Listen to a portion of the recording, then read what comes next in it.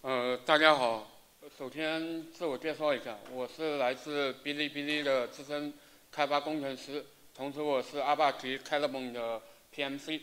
那么今天我想分享的主题是，呃 c a l i b o n 在 B 站的一个生产实践。因为内容比较多，所以我快速过一下。那本次分享主要分为四部分，第一部分会对 c a l i b o n 的一个背景做一个概览，然后第二部分会简单剖析一下 c a l i b o n 的一些功能特性，第三部分会详细描述一下呃 c a l i b o n 在 B 站的一个生产实践。那最后一部分就是 c a l i b o n 在 B 站内部的一个规划和展望。那第一部分就是 c a l i b o n 的一个背景的一个呃 overview。那么 s h u f f l e 是一个中间数据的一个转换。那么说到中间数据，不得不说大数据计算。那么大数据计算它其实就是数据的转换和流转。那数据的转换顾名思义就是我数据不断在发生变化，然后产生新的数据。或者被过滤掉，而数据的流转主要分为呃持久化数据的流流转，呃主要是一些原表数据的流转。那第二部分就是中间数据的流转。那所谓的中间数据就是说我大数据引擎在作业运行过程中产生的一些临时中间临时数据，然后因为内存放不下，会一写到外部存储，然后作业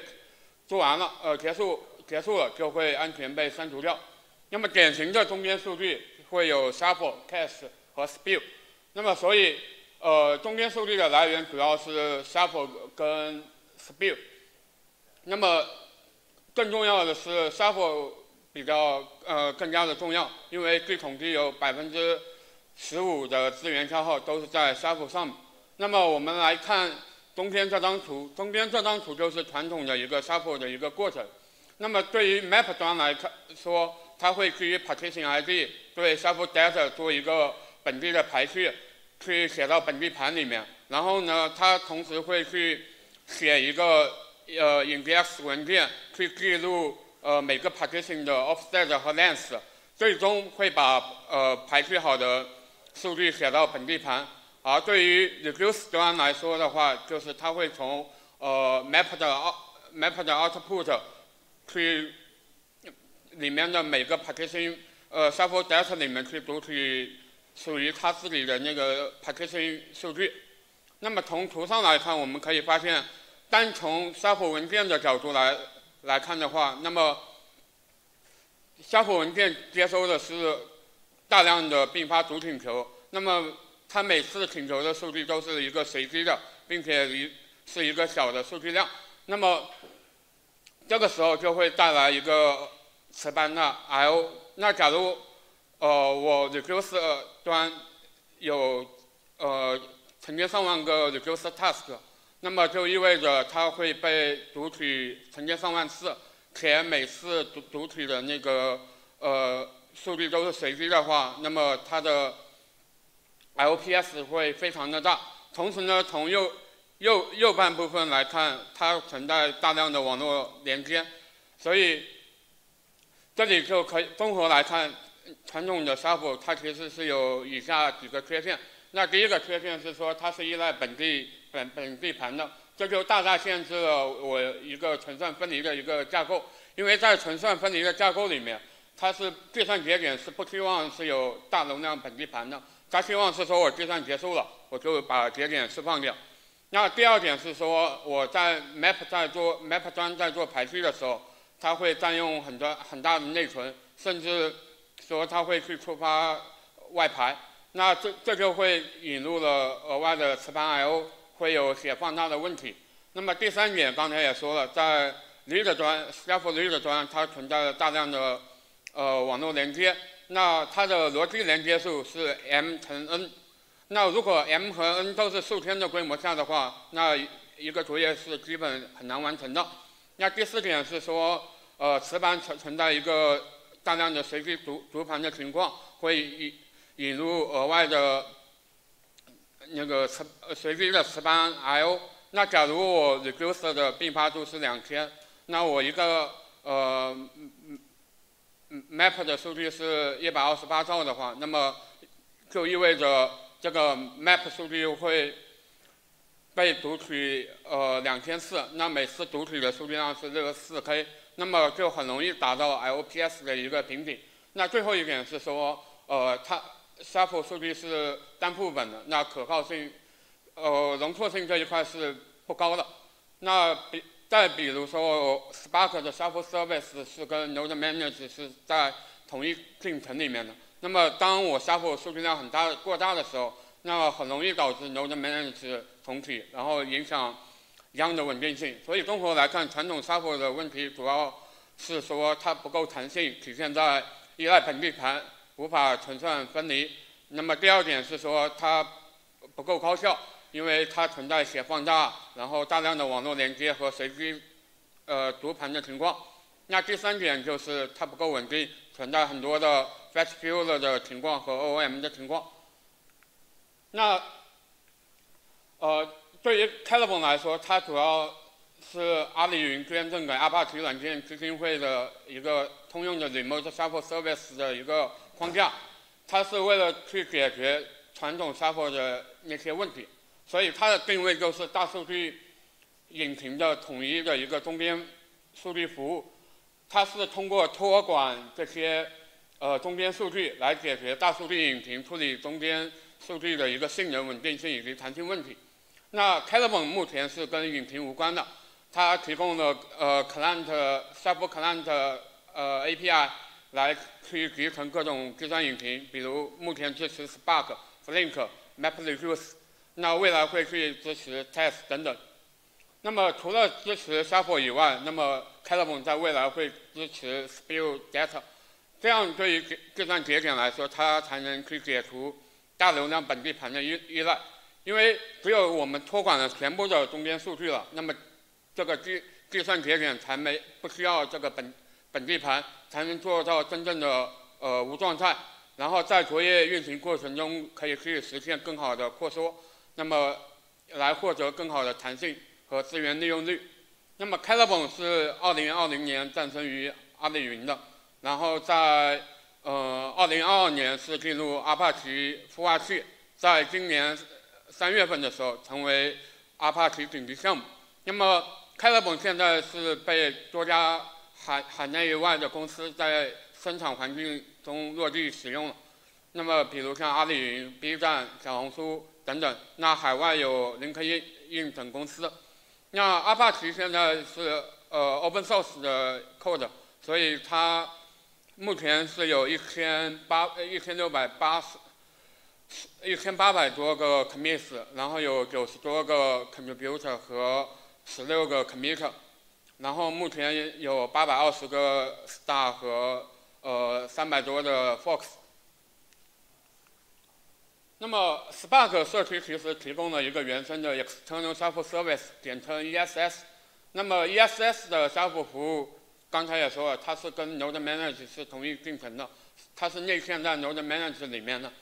所以当我 Spark 的 execute 参与 shuffle 过程的时候，会在 Map 端。会把产生的 shuffle 数据写到本地的存储介，然然后对于呃 reduce 端，它会去读取 shuffle 数据，可以从 ESS 里面去获取，不用去从 execute 里面去获取了。然后 ESS 也存在一些弊端，比如说它会导致在异构存储情况下会导致长尾任务现象比较严重，然后磁盘和网络比较开销比较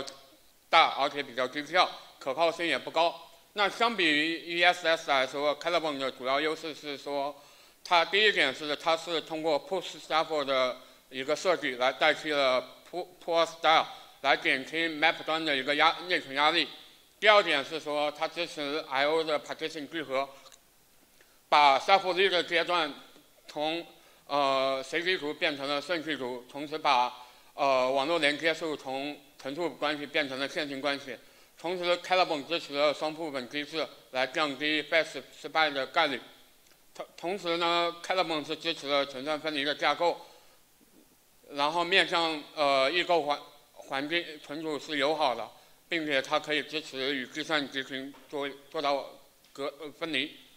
最后一点就是它解决了 Spark on K8s 的一个本地盘的依赖问题。那呃，社区在 k e l b o n 上面做了性能的一个测试。那么对于呃纯 sub 场景来看，呃 k e l b o n 相比于 ESS 来说是有明显性能优势的。它的优势主要体现在 Shuffle 率的阶段。那么随着这个 Shuffle size 逐渐的变大，那么 k e l b o n 的优势更加的明显。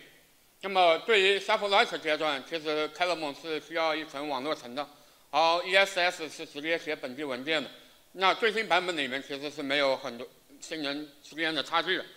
那么 k e l b o n 也对社区也对 k e l b o n 的单副本、双副本以及 ESS 也做过对比。那么单副本是有百分之二十的提升，双副本有百分之十五的提升。那这就是呃 k e l b o n 项目的一个简介。那接下来来看 k e l b o n 的哪些功能特性吸引呃我们公司来落地 k e l b o n 那首先来看 k e l b o n 的一个架构。那 k e l b o n 是采用一个 CS 的架构。那么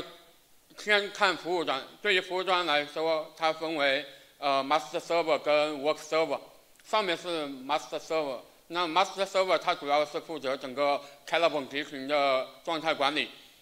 以及分配呃 slot 负载。最后它会根据 Rust 协议去实现高可用的一个 HA。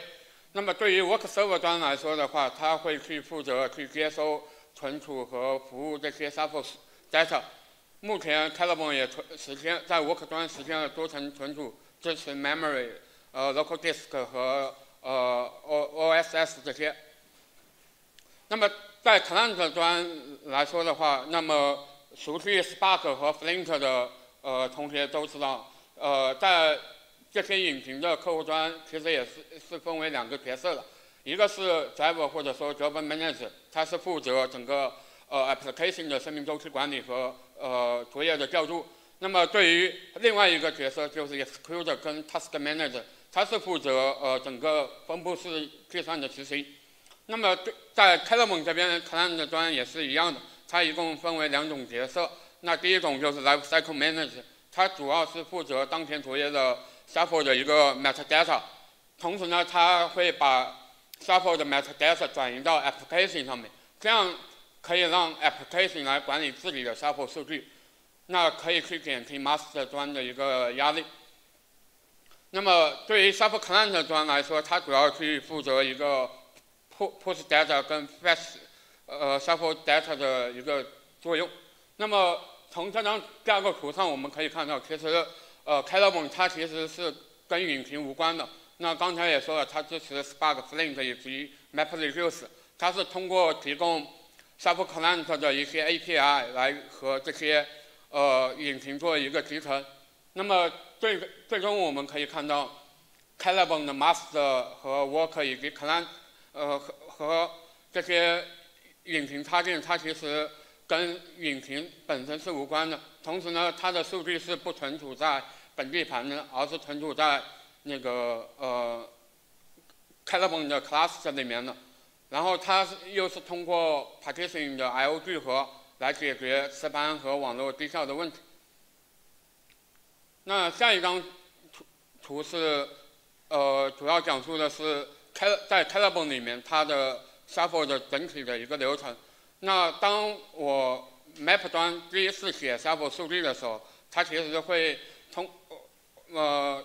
Map 端会向 Lifecycle Manager 去发发起一个 Request Shuffle 的一个请求，去注册 Shuffle。然后 Lifecycle Manager 收到请求过后，他会向 Master 去发送呃 Request 的 Slot 请求。那 Master 收到请求以后，他会去选择一呃按照 Slot 分配策略去选择一批。我可给，我可去为本次的 Shuffle 服务，Shuffle 请求服务。那么接下来，Lifecycle Manager 会把这个会向我可去发送一个 Reserve Slot 请求。那么我可端收到请求以后，他会做一些准备工作，比如说他会去预留一部分 Slot 和创建相应的 Partition 文件。那这样以后，Lifecycle Manager 就把这个 partition location 的信息返回给 map 端，map 端这样就可以持续的往呃 Worker 端去发送 shuffle 数据。那对于 work 端来说的话，它接收到 shuffle data 以后，它会把数据先缓存在内存里面。然后如果我开启了呃多副本的情况下，那它会在多个数据 work 之间做数据冗余。那么当我某个 partition 数据超过阈值的时候，它会把把 shuffle 数据进行一个沙盘操作。那么当我这个某某个 map task 完成了以后，它会向 lifecycle manager 去发送一个 map end 的一个请求。那当我所有的 map task 都结束了以后，那么它呃 lifecycle manager 会向 worker 去发送 commit file 请求。那么 worker 端会去做一个把尚未 flush 的内存数据 flush 呃沙盘的操作，也就是提交 partition 文件的一个操作。那到这里就其实它已经完成了一个 shuffle write 的一个整个过程。那么对于 shuffle read 阶段的话，那么 reducer 它会向 lifecycle manager 去获取 partition location 的信息，然后向相应的 work 节点去读取相应的 shuffle 数据。那这就是 c a l a b o n 的一个 shuffle 主要的核心流程。那么接下来会从性能和稳定性这两块来看这个 c a l a b o n 的一些比较好关键的一个功能特点。那 c a l a b o n 从左左边这张图来看 c a l a b o n 是采用了 push shuffle 加 partition L 聚合的一个设计。那么它会，也就是简单来说就是左边这张图里面，对于 map 端来说，它会把同一个呃，partition 的数据推送到呃同一个 Worker 上面，然后 reduce 的端就只要从呃 work 端去读读取 partition 文件就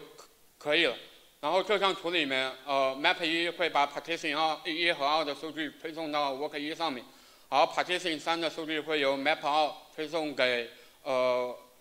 work 二上面。那么具体的来说，就是我会在 c a l a b o n 会在 Map 端去内部维护一个呃 Net Buffer 去缓存这个 Shuffle Data。当我 Net Buffer 去超过阈值的时候，会触发 Push Data 的一个操作。那么 Map 端会把同一个 Partition 的数据推送到我这个同一个 c a l a b o n Work 上面。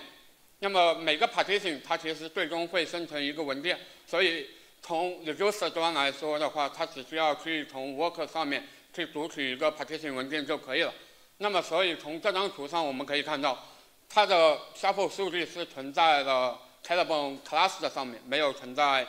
本地盘上面。同时呢，它是又又是一个 push shuffle 的一个设计。那 push shuffle 它其实是不需要呃对全量的 shuffle 做本地排序的。所以，对于 shuffle 数据来说的话，它既不它既不用落盘又不用排序，同时呢，对于 shuffle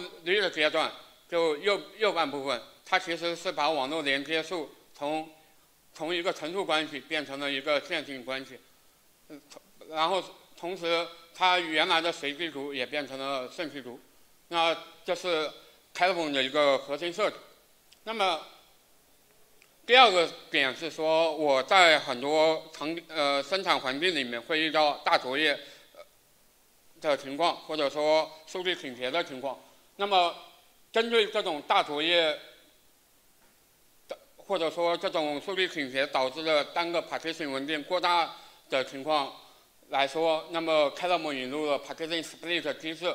简单的来说，就是把 partition 的数据切分成多个 partition split。比如说，它会在我 partition 文件超过阈值，或者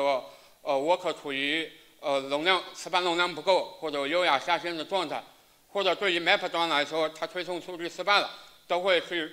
触发这个 Partition Split。那么 Partition Split 的引入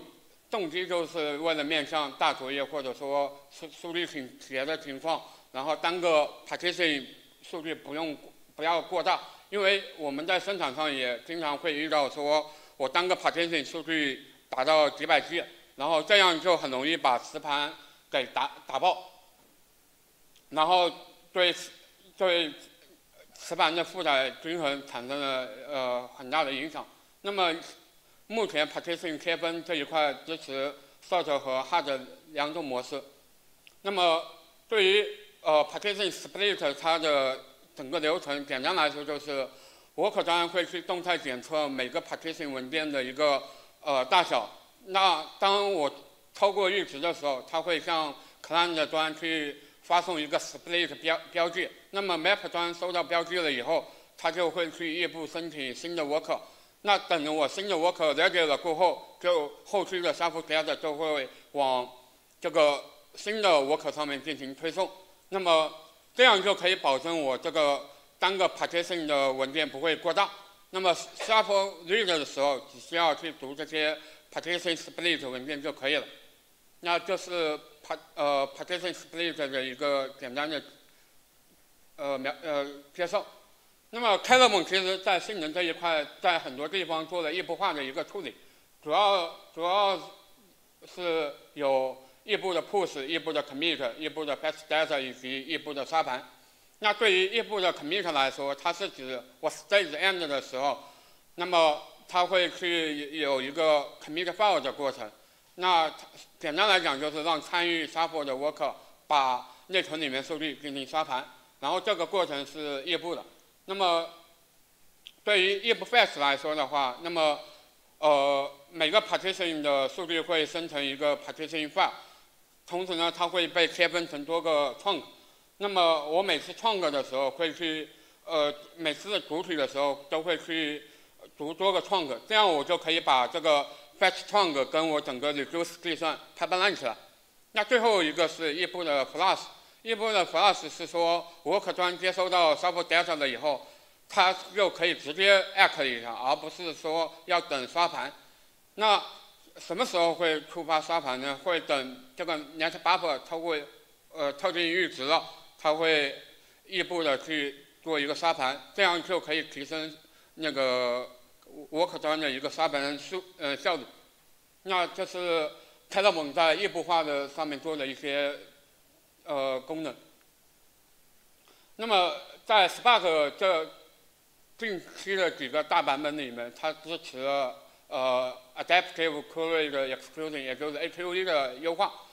呃，所谓的 AQE 就是它通过收集运行时候的一些统计的数据，来动态去调整这个 Spark 这个执执行计划，然后去解决 Optimizer 无法预准准确预估这个。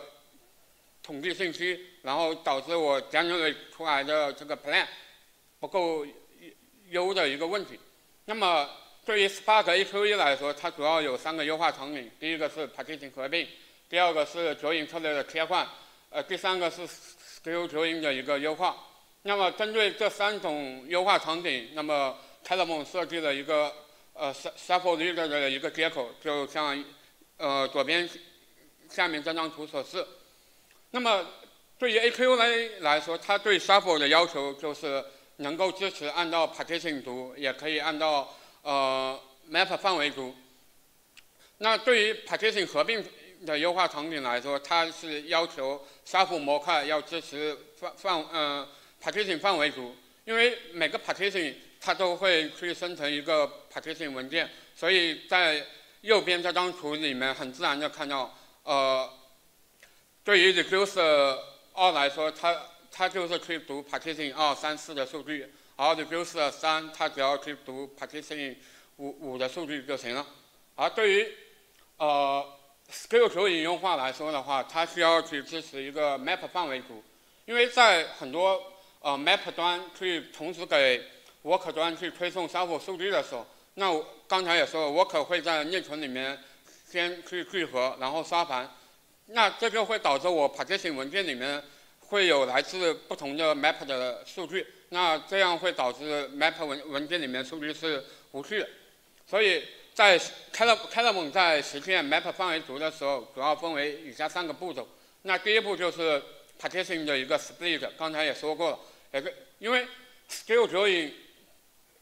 呃，大部分情况意味着说我作业里面会有数据倾斜。那有数据倾斜就大概率会去触发 partition split，就像这张图里面，partition 一的数据会切分成 partition split 一和二。那么第二步是说 sort only 的，什么叫 sort only 的？就是说，呃，work 端在第一次读这个 partition split 的时候，它会基于 partition ID 对 split 文件做排序，这样就可以把排序之前的随机图变成了一个顺序图。那假如说，呃，下面这张图里面我要读 map 一到 map 二的数据，那排序之前我需要对这个 partition split 文件 seek 四次，那我排序之后。我们可以看到，它其实只要 seek 一次就可以了。那第三个步骤就是支持了一个 range read，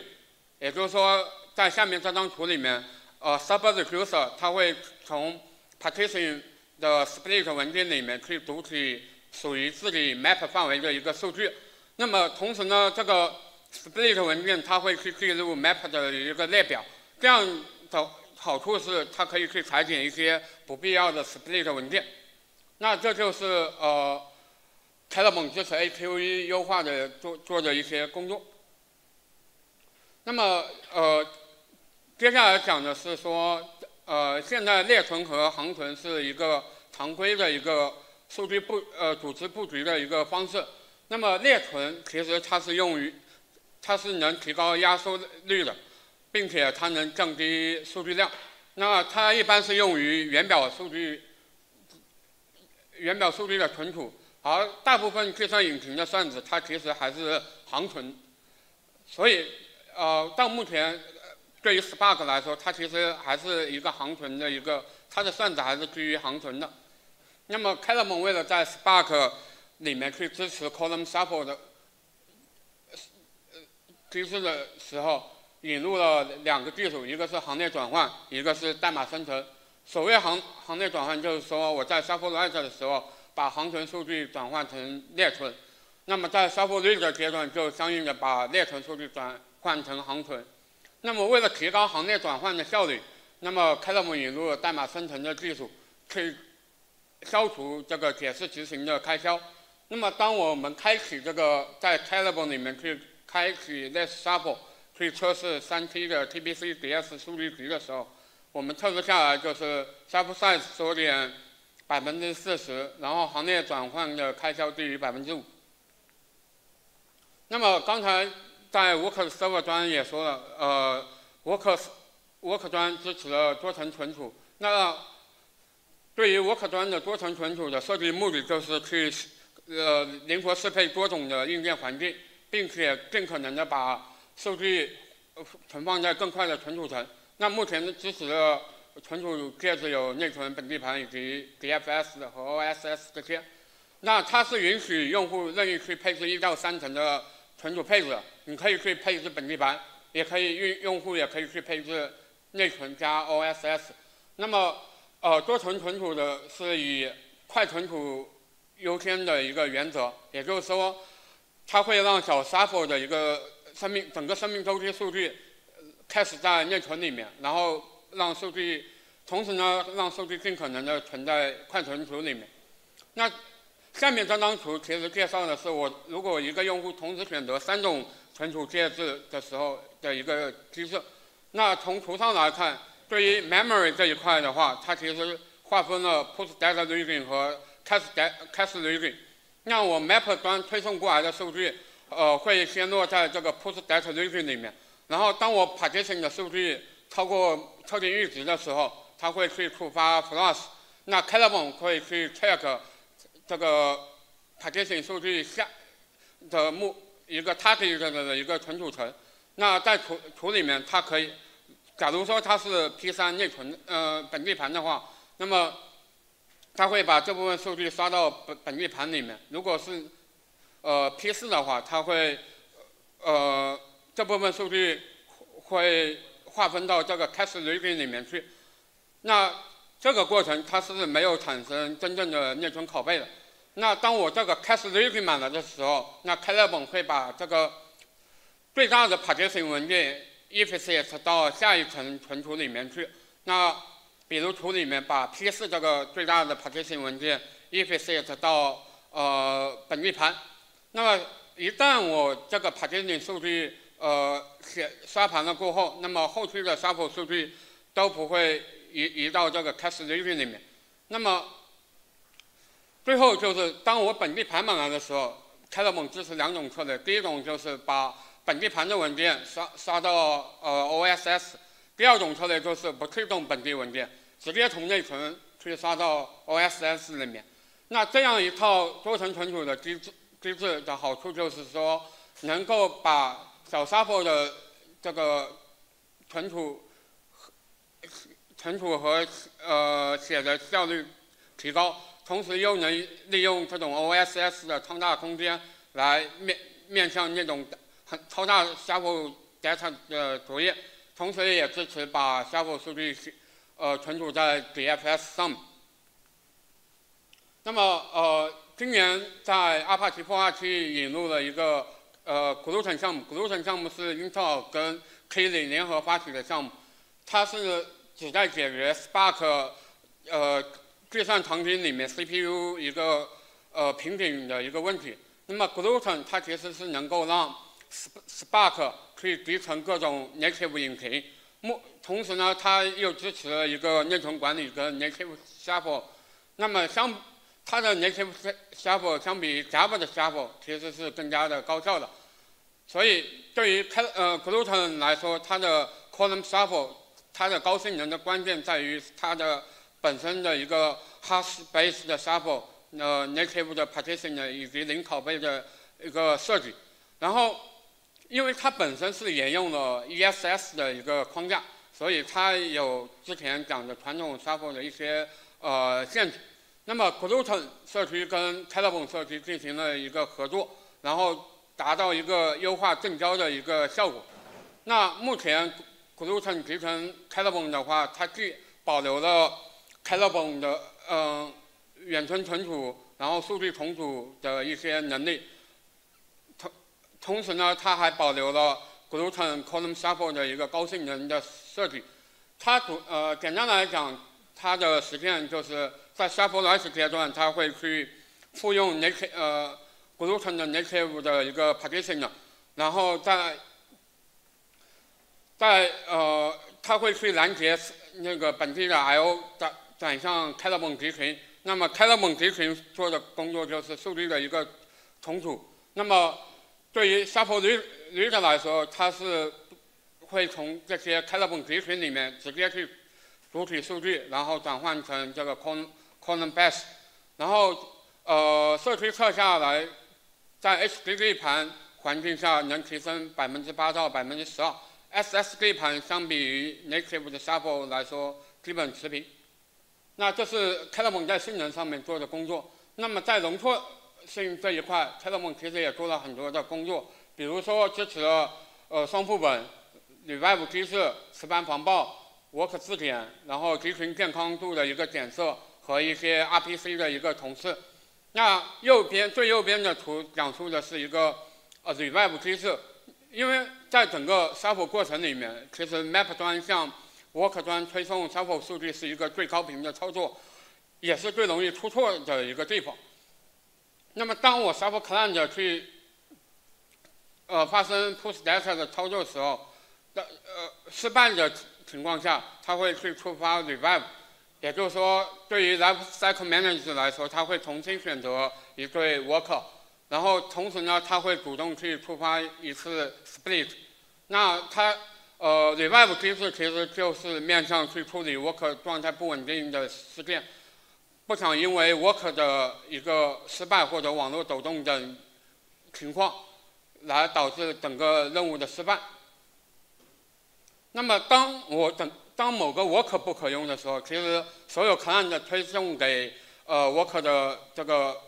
push data 都会失败，那就会产生大量的 revive 操作。那极端情况下会导致 driver 的 OOM，所以 c a l m 引入了呃 best revive 来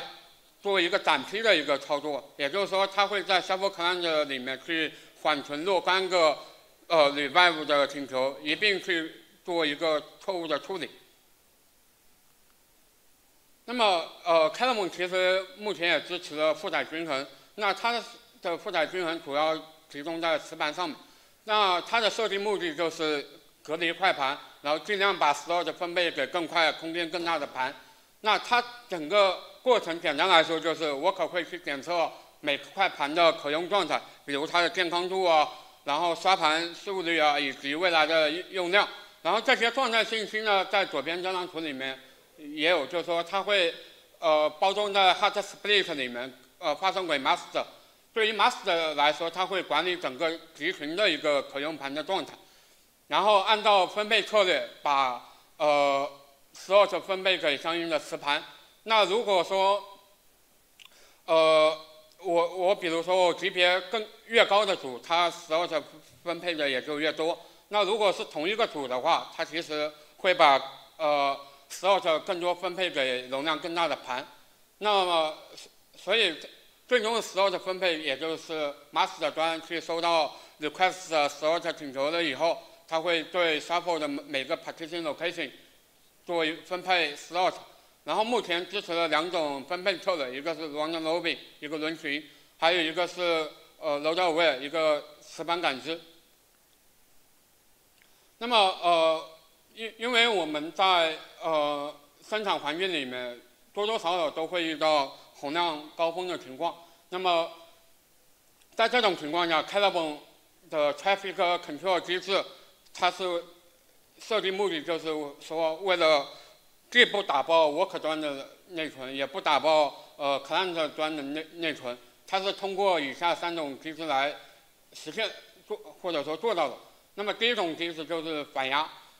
因为从左边上面这张图来看。那么 Work 端的数据主要的 Shuffle 数据主要来源，一个是 Map 端推送给它的数据，还有一个是如果开启双副本，那么主副本会给同副本推送数据。那我当我这个推送数据过程中，我 Net Memory 或者说我的 Memory 达到警戒线的时候，那么需要去停止原端去给它推送数据，同时呢要把这个呃内存给卸下来。那在 c a l a m 的反压机制里面定义了三种 watermark，一个是 post receive，一个是 post replicate，最后一个是 resume 的 watermark。然后对于 work 端来说，它会频繁去检查这个已经使用的 direct memory 的一个比例，去触发呃如果达到相应的 watermark，去触发相应的操作。那这就是那个呃反。开拉蒙的反压机制，那么在开拉蒙里面，在 shuffle write 阶段，其实引入了呃用塞控制的一个机制。那么呃为了面面向这种瞬时的大大作业，那么开拉蒙的的 shuffle command 采用了一个类似 TCP 的用塞控制来控制这个推送数据的一一个机制。那所谓的用塞控制机制是左边这张图里面，然后它主要分为三个阶段。第一阶段就是 slow start，就是一个慢启动的状态，也就是说，push 在初始的情况下，它是处于一个 slow start 的状态，然后推送数据的推送数据的速率也是比较慢的。但这个推送数据的一个速率的上涨是以指数级进行上涨。然后当我这个出到达某某特定阈值的时候，它就会去触发拥塞避免的一个第二阶段。那这个时候它的上涨速度就不会特别快，它就会慢下来，最终会以一个固定的斜率进行一个上涨。那当我 work 端的内存最终的呃超过警戒线，那么就会去触发拥塞控制。所谓的拥塞控制就是给 client 端发送一个标记。然后 client 端会去收到这个这个拥塞控制的信号，然后这个状态就会回到这个 slow start 的状态。那伴随着就是推送数数据的速度也会降降下来。那在整个过程当中，work 端它会去记录过去一段时间里面这个推送数数据的一个数据量，这样才能去决定说我去控制控制哪个用户或者说控制哪个作业的 shuffle。那么呃，在拥塞控制里面也定义了两种 watermark，一个是 low watermark，一个是 high high watermark。low watermark 以下的就表示一切都 OK。那么当我这个呃超过了内存超过了这个 high watermark 的时候，它就不对，它这个速率超过这个 high watermark 的时候，它就会触发拥塞控制。那最后一个。就是在常规的流控设计里面也也会常规的一个设计，就是按照 credit 进行一个呃流控。但它主要是用在 Flink 的一个场景里。然后简单来说，就是 worker 端在推送数据之前，它会向 worker 拿到一定 credit，然后保证是说我这个 self log 的数据是被 Flink 管理的。而对于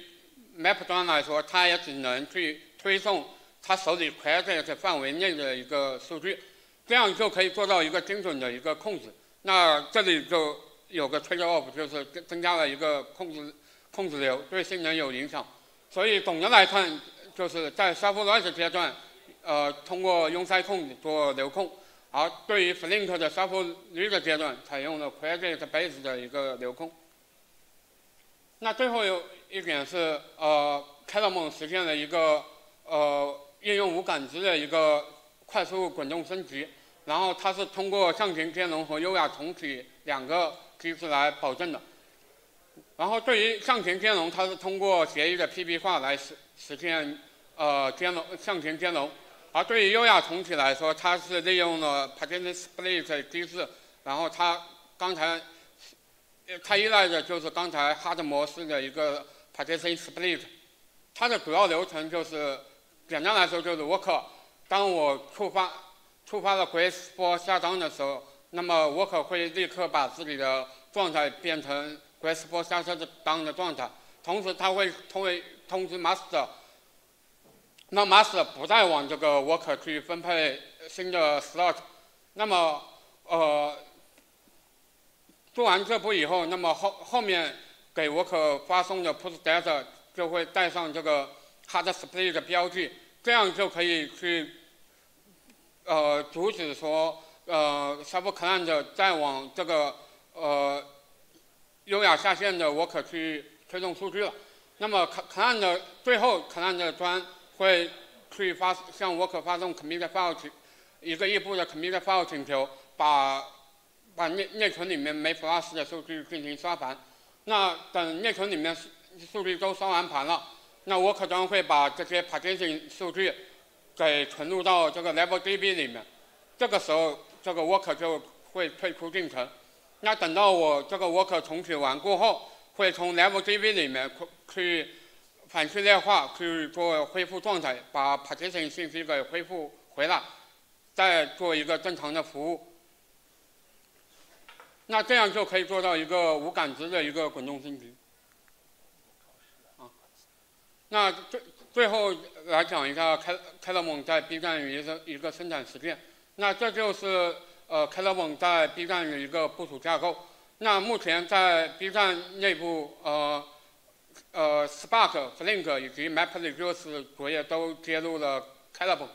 那呃，我们公司是有多套 k e l o n 集群，然后其中有一套 k e l o n 集群是呃接了那个 Spark 的一个 GU 作业和 Flink P 的作业以及呃 MapReduce 作业。然后 MapReduce 的接入是通过呃。RM proxy，然后自动的把呃呃把 Shuffle 给接入到开了开了蒙这边来，去集成了那个 MRAPP master，然后还有一套开了蒙集群是面向 Spark 的高优作业的，所以开了蒙集群在 B 站是独立部署的，然后对于 HDFS 和杨是混部的。呃，然后总总的有三三套三个 master 集群，然后都是独立部署的。然后 work 端也是有四个，采用的是 NVMe 的盘。然后集群分布的话是按照机房来分布的，主要是按照优作业的优先级来呃来来设计的，有低优的集群和高优集群。那么对于呃 c a l a m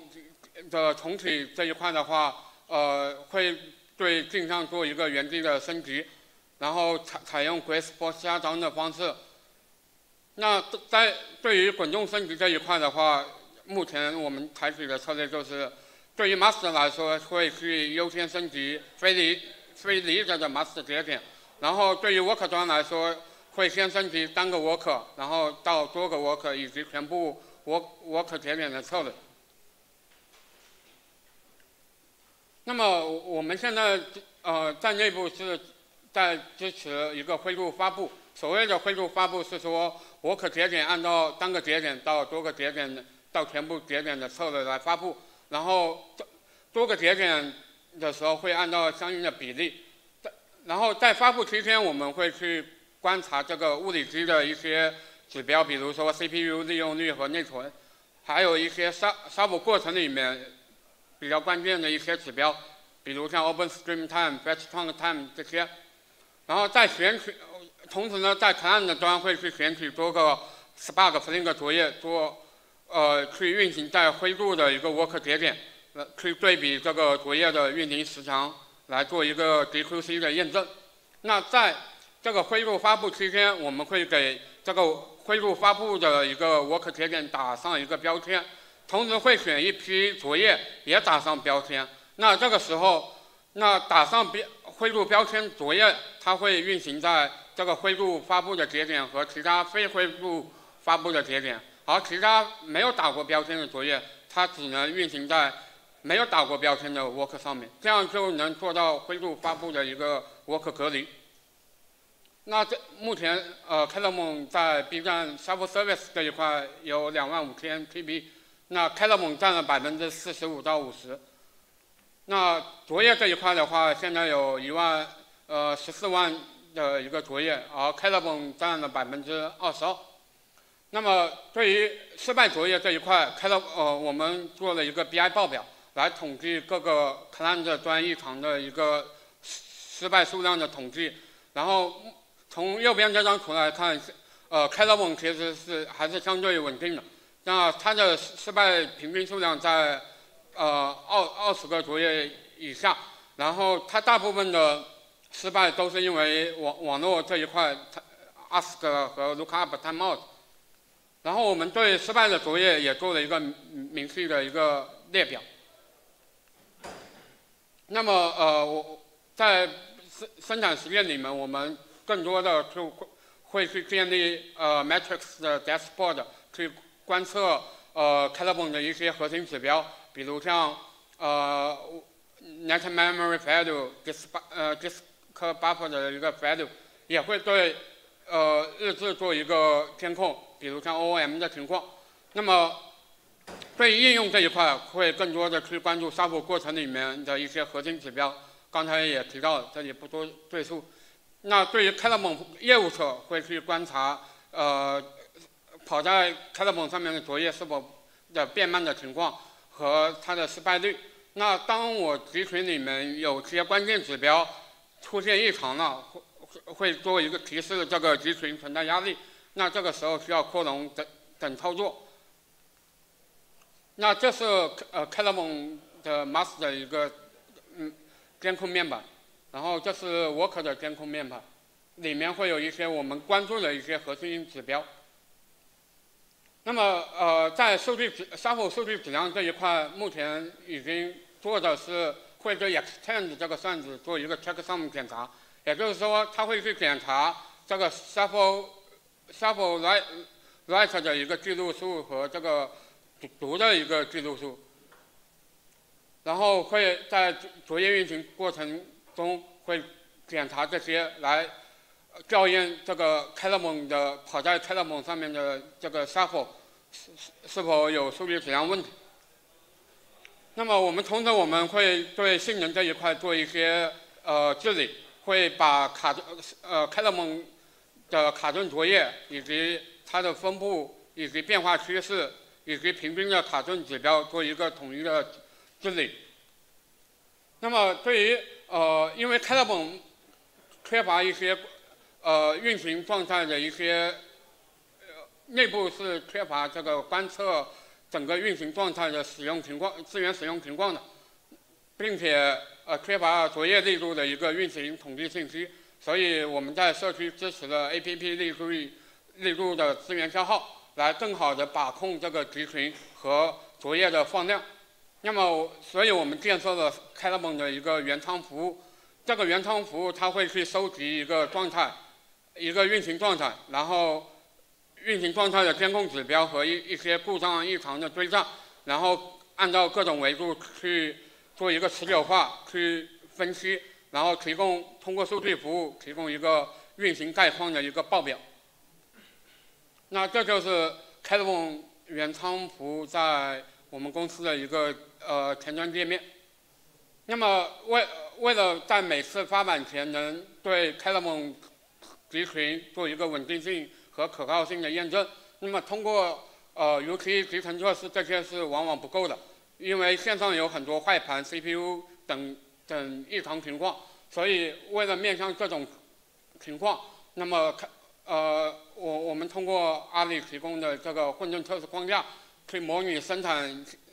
上面异各种可能出现的异常，来保证满足这个开了蒙最小的运行的一个环境。然后整个测试流程这里不做赘述。右边展示的是一个测试的一个 plan，呃，用户只要去编编写这一套 plan，就能去模拟各种异常事件来做一个对开了蒙集群做一个混沌测试。那这套混沌测试框架主要分为三部分：schedule、runner 跟 CLI。schedule 主要用来去执行这个测试计 plan，然后去产生异常事件。然后再监控整个集群的资源状态，然后 runner 它是负责去执行这些异常的事件，而 CLI 其实它就是为去负责把这个测试 plan 提交给 schedule。那么同时呢，我们内部 Spark 发版跟 c a l a m o 这个 Client 发版是不同频的，啊，那呃目前是。通过 Spark 这个 ticket 可以支持了通过刚刚驾驶和 Spark 点驾驶来指定 Spark Client 架包来做到单独的发版，也解决了 c a l a b o n Shuffle Handle 在 User Class Pass First 等于 True 的情况下的 Class Load 不一致的问题。同时，我们在生产环境开了 j a m a l i c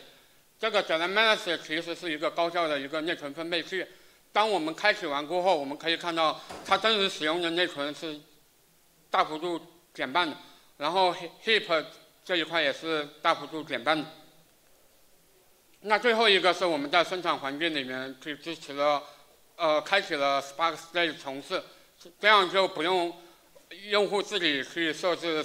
Spark 作业一个重置机制，这里就不多赘述。那最后一个是对内内部 c a l a b o n 的一个规划展望。那对于呃内部会有一个 BMR 的大数据集群管理，然后 c a l a m 这一块的呃集群管理的计划就是做到降本增效，然后提高稳定性和服务质量。那么